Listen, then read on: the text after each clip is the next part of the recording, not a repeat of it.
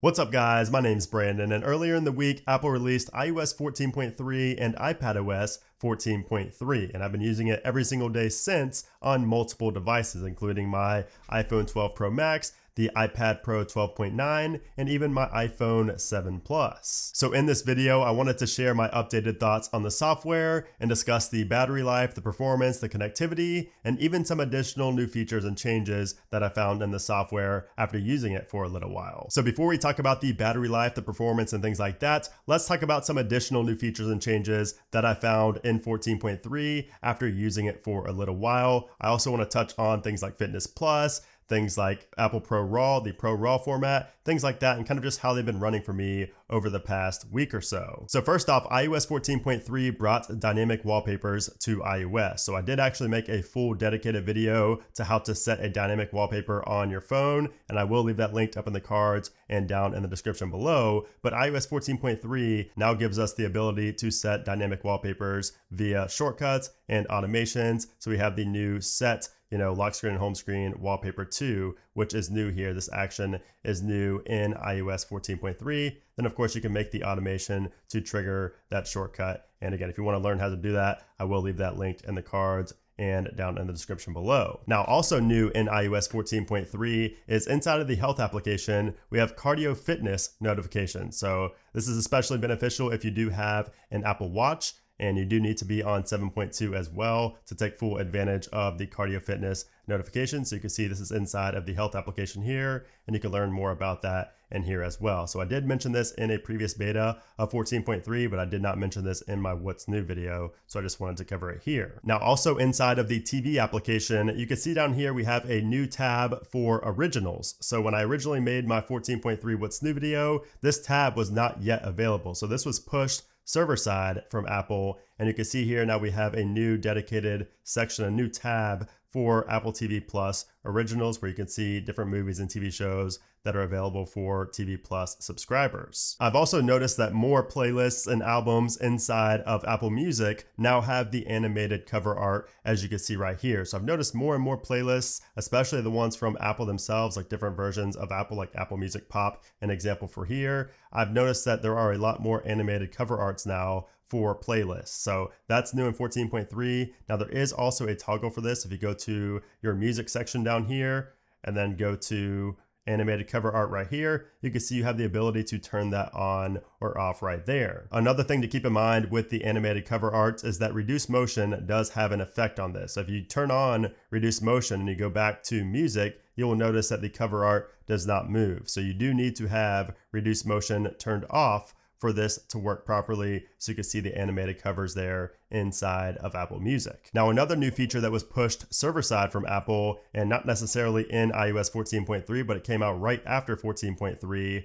are the app privacy labels right here. So you can see the app privacy section of every app in the App Store is now updated and it shows you really important information that you would want to know. So it says data used to track you, data linked to you, and you can kind of just see all of the different, you know, data that is being taken from you and used from these applications. So you can see it's a pretty long laundry list here from Facebook, and that's you know kind of at the center of some controversy right now with Apple. But you can see all of these details about app privacy, and Apple makes it very easy to read now with iOS 14.3 and above. So that is good for privacy. Now, also, if we go into our settings here, and then go to our accessibility. If we go into sound recognition, make sure sound recognition is turned on, go to sounds. Under people, you will notice that the coughing sound has been removed for some reason. So before there was a toggle there for coughing, but for whatever reason that has been removed. I've also heard that the auto brightness bug has finally been addressed in iOS 14.3. So I did not know this before I saw a comment that was thumbs up like 80 times on my iOS 14.3 what's new video. And a lot of people seem to agree that the auto brightness bug has been addressed and fixed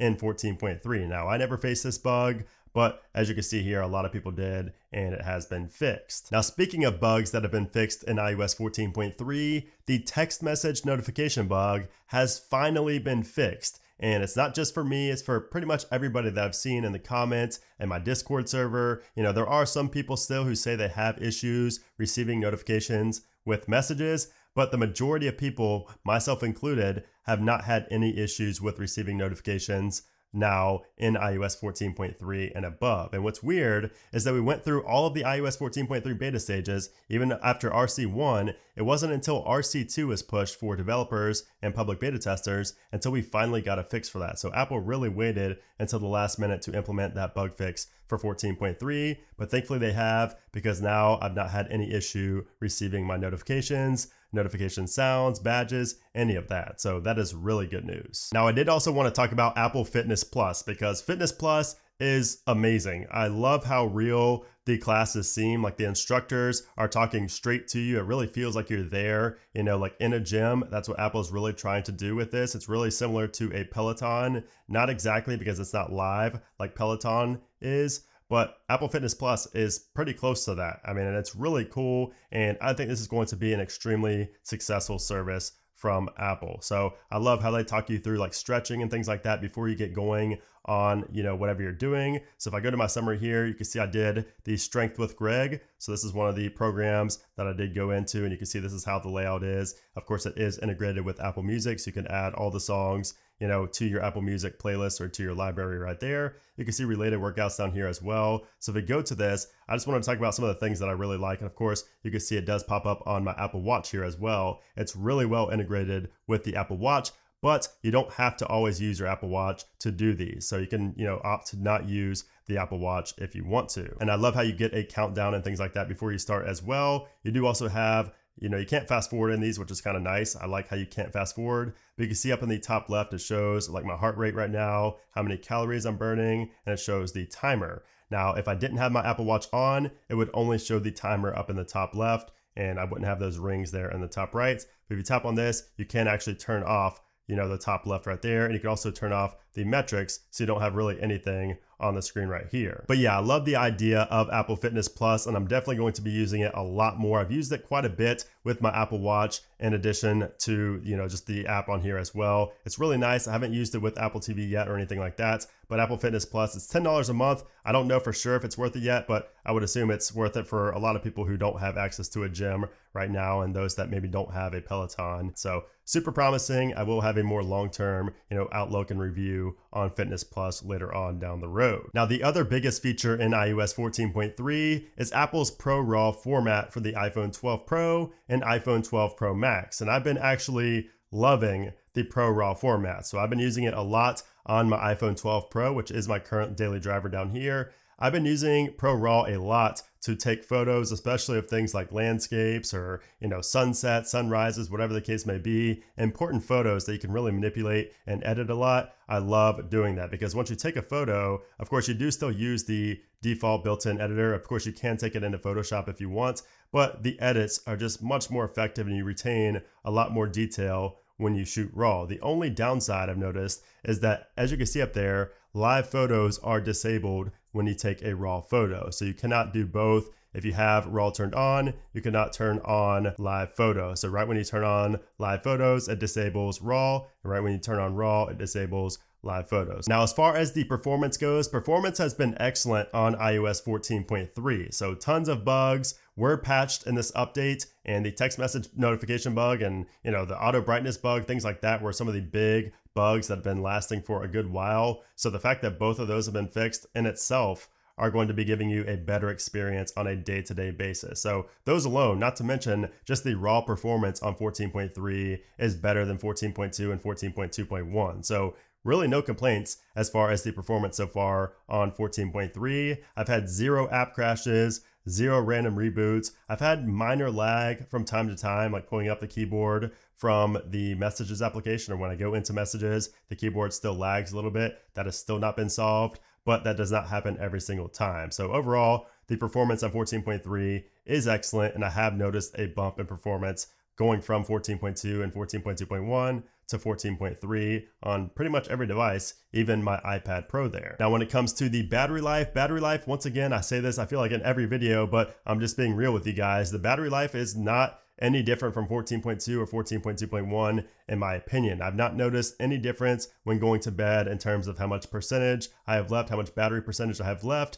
So I would just assume that it is the same. I've not run a full battery test video just from version to version. Maybe I will in the future, but I have not noticed any significant time difference. So I would just go out and say that the battery life is pretty much the same and that you should not update if you're just wanting to get better battery life. Now, when it comes to cell connectivity, this is an area where 14.3 really didn't do anything. I mean, it's about the same as 14.2 for me, which is really unfortunate because we did get a big modem firmware update in 14.3, so I assumed that we were going to have some fixes for cell connectivity, you know, drop calls, things like that.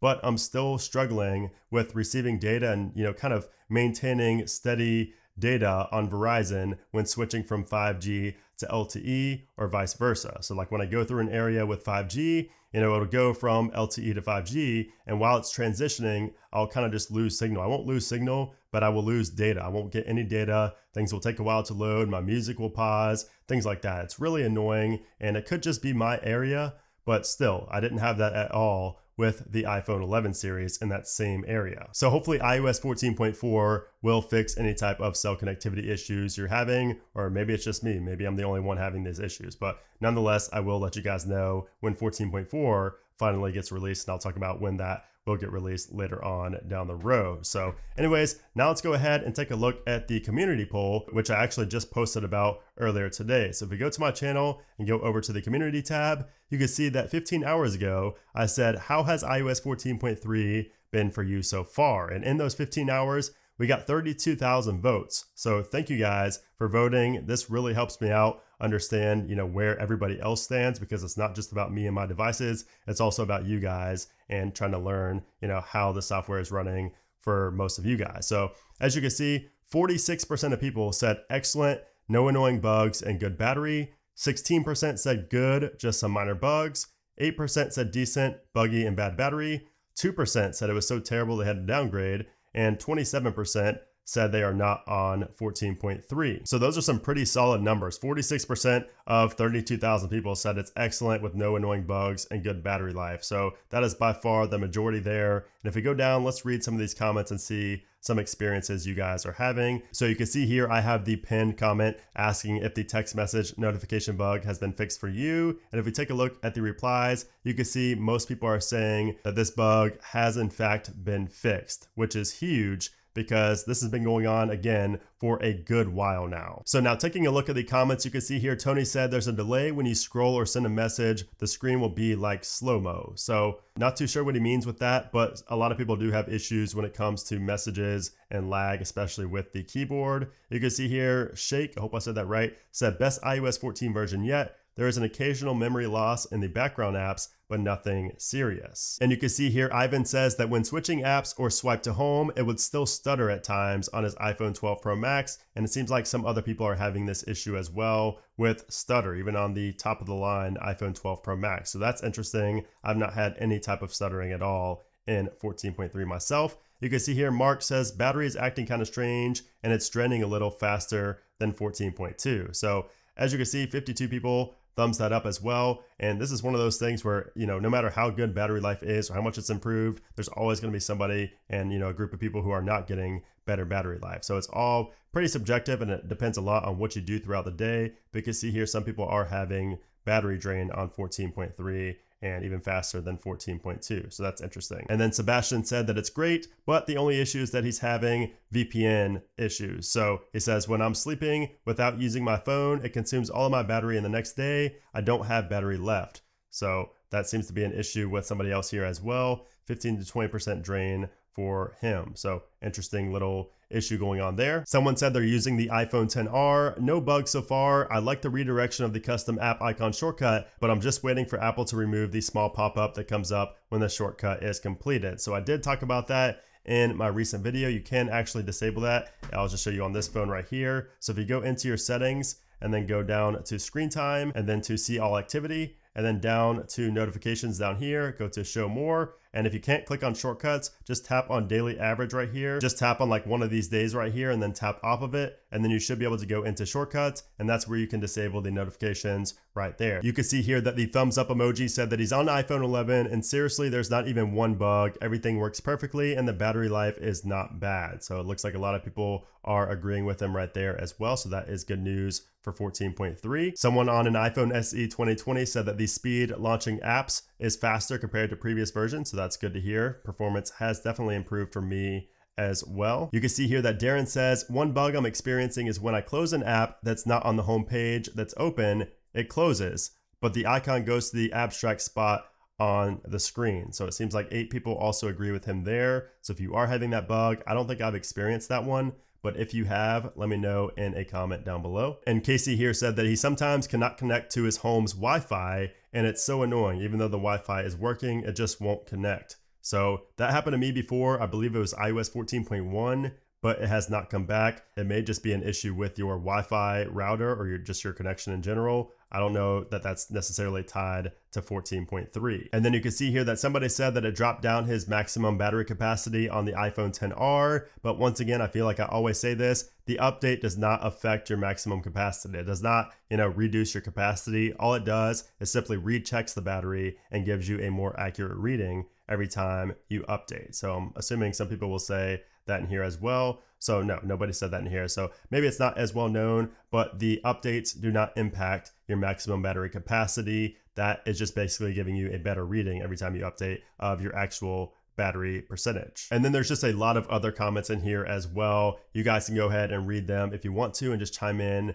with your thoughts. And if you're having any of these bugs that other people are having, go ahead and leave a reply on these comments here. I really appreciate everybody who left a comment on this post. It really helps me out. And, you know, I'm addressing these as well. And hopefully Apple sees some of these issues that you guys are having that I'm able to report on here in the video. So now let's talk about when we can expect iOS 14.4 to be released to the public. So as you guys know, if you follow my channel, iOS 14.4 Beta 1 was just released the other day, so this week. Now, I would not expect a second beta of iOS 14.4 to be released until January, which means that we probably won't see the final public release of iOS 14.4, the update that everybody's going to get, until late January or even maybe early February. So I would not expect a new iOS update until at least then. So we do have a while to be sticking with iOS 14.3. But of course, if things change, you guys know I will keep you updated as always here on the channel with every iOS update. But yeah, guys, that is iOS 14.3. That is my follow-up review on the software after using it for a good while now, especially since I had the RC2